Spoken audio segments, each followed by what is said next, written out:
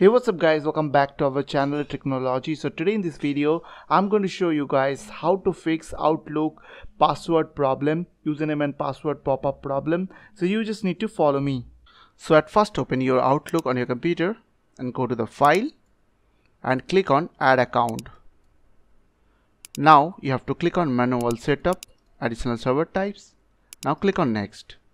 After that choose here pop and IMAP now click on next.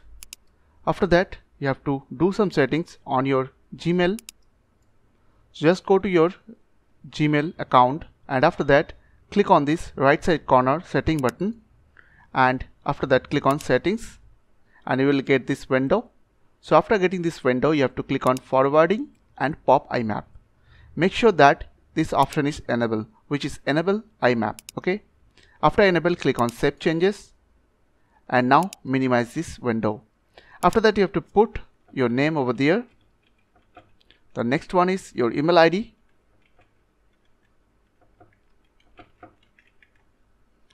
now you have to select here account type imap now put the incoming server over there imap.gmail.com now on the smtp you have to put the next box to put here smtp.gmail.com. Now in the password field you have to put your password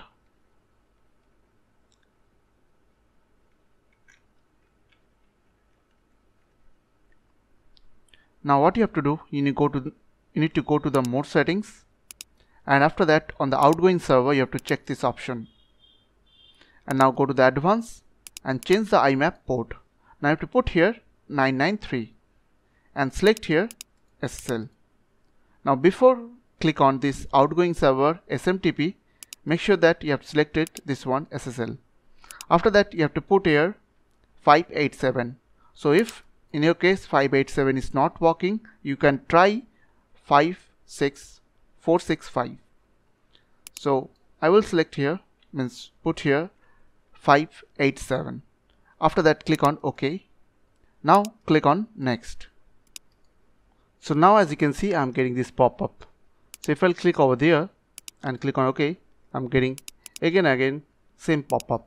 So now what you have to do, you need to go to your Gmail account simply. After that click over there and click on Google accounts. After that you have to go to the security.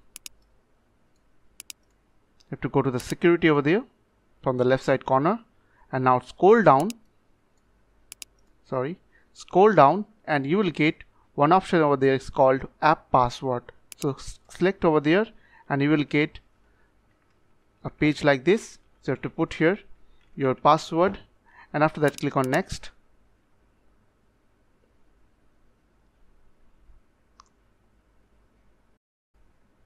And now you have to select here mail and from select device you have to select here uh, Windows computer. Now click on generate after that you will get a password like this. So you have to copy this password and you have to put over there. And now click on save this password in your password list. Now click on ok. And let's see it's working or not.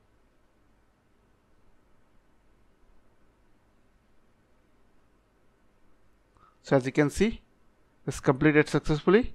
So now close this window and click on and click on next.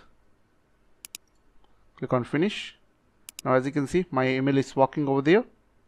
So as you can see the email is coming.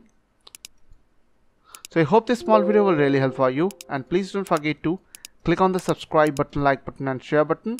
And if you have any queries or question then comments down below. I will see you guys on the next one next video.